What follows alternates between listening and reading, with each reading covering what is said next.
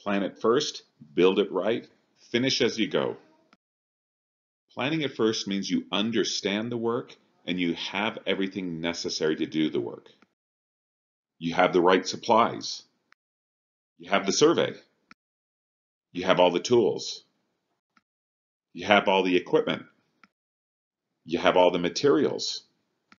You have all the necessary information.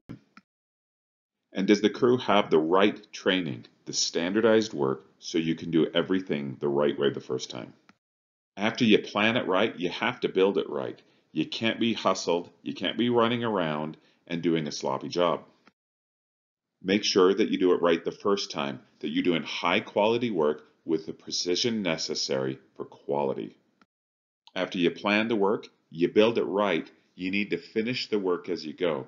Don't leave loose ends, don't leave the site sloppy, don't leave punch list items. Do it right the first time and make sure it's completely finished.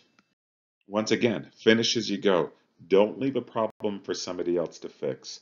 It should be completed with precision so nobody has to come back and fix any of the work that you did.